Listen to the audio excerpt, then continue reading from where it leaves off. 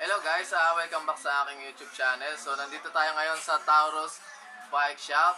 Hindi tayo magbabike check guys, mag-unbox tayo. Nakikita nyo naman, so eh, nasa harapan na, na natin. Ah, ito guys yung One Hub. So ang brand niya is One. Yan. So unboxing muna natin, then mamaya sasabihin ko sa inyo yung specifications nung hub na ito. Ayan, take note guys, ito na yung pinakamurang hub hubs na nakita ko sa market. Ayan, nagkakalagat guys to ng 1,500 pesos lang. So yun guys, ah, ano pa nahinintay natin? Buksan na natin to. Gusto gusto ko na talagang makita to guys. Hindi ko pa binubuksan to. Ngayon pa lang. Ngayon ko pa lang makikita na to para ano naman tayo. Ah, thrill. Ayan.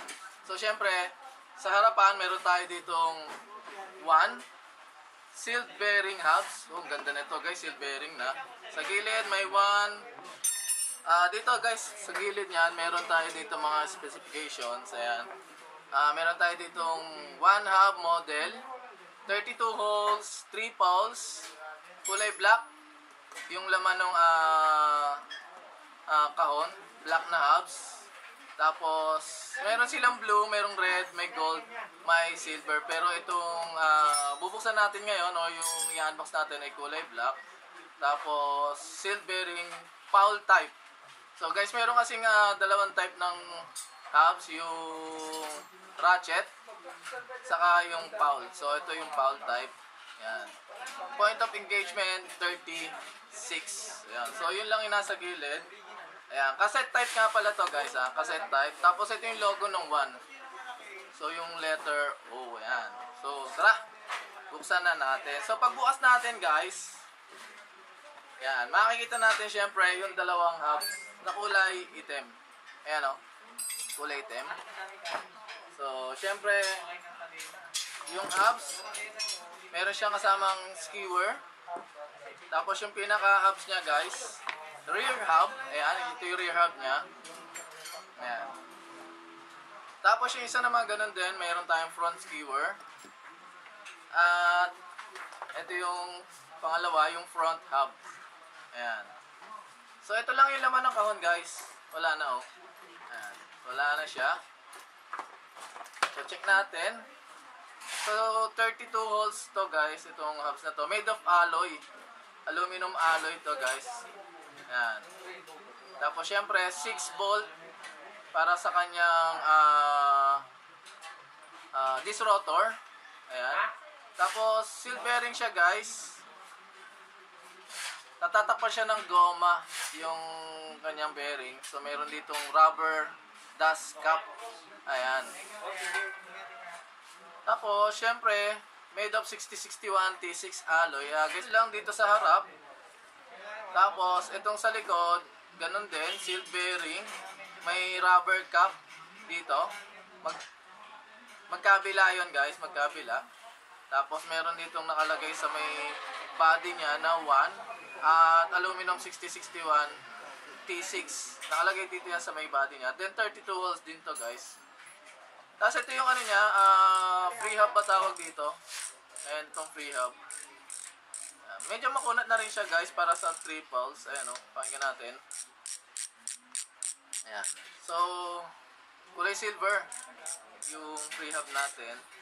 Na subukan natin buksan guys para makita ninyo. Ayan guys, hindi ko siya mabuksan eh. Sikip. Ayan, hindi ko siya mabuksan. So, timbangin na lang natin siya. Ayan, gusto ko sanang mapakita sa inyo yung triples niya. Kaya lang, hindi siya mabukas. Hindi kagaya ng ibang hubs na madali lang siyang buksan. Ito, ang hirap guys, oh. So, hindi ko na anuhin. So, guys, ah, timbangin natin yung hubs. Ayan, para malaman natin kung gaano kabigat yung front saka yung rear hub. So, simulan natin dito sa sa front hub.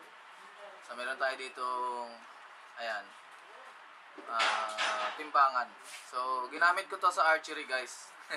Gagamitin natin ngayon sa bike. So, timbangin natin. Ah, hubs lang to, guys. Wala pa siyang skewer, ah. Wala pa siyang skewer. So, subutin na natin. Timbang niya, guys. Ulitin ko. 248.5 grams. Ayan. Isa pa. Balik na rin natin para sigurado tayo. 249. So, na, naglalaro lang sa ganun, guys. Ayan, 248.7. So, sa assuming na natin na 250 grams. Ayan, itong front. Then, ito namang rear. Tingnan natin. Ayan. 459.1. So, isa pa. Tingnan natin. 461.4. Balik na rin natin. So, average niya 460. To 459.5. So, isa pa. Last one. 460. So, 460 grams itong rear half. Yan. So, dito tayo sa skewer. Itong front skewer tayo, guys. Ah, guys, hindi ko to ma mababalansi eh. So, dadantayan ko na lang. Ah, 49.9. So, assuming na natin na 50 grams to. Then, ito naman, yung rear skewer. 53.5. So, assuming na natin na 55 grams. Ayan.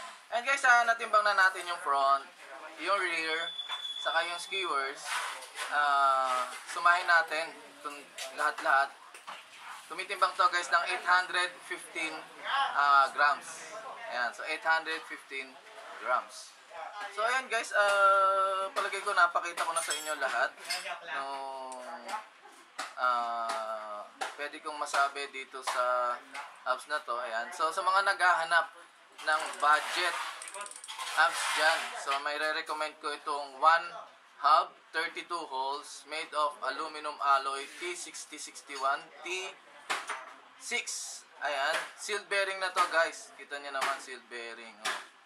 nagkakalaga nga pala to guys ng 1,500 pesos lang. Dito yan sa Taurus Bike Shop. Yan guys ah, sa mga gustong mag-avail nito ah, budget ah, hubs. Ayan isa sa ulitin ko guys isa sa pinakamurang hubs na nakita ko sa market. 1,500 lang to guys. 3 poles ayan. So nag-ship nga pala sila. Ah, kayo yung magbubook through LBC ah LBC ah Lala Move. O kung ano mang app yan kung ano mang ah, career yan basta kayo yung magbubook and then ang payment nito guys is GCash or bank transfer. Pero bago kayo magpabook guys ah message muna kayo sa kanilang Facebook link.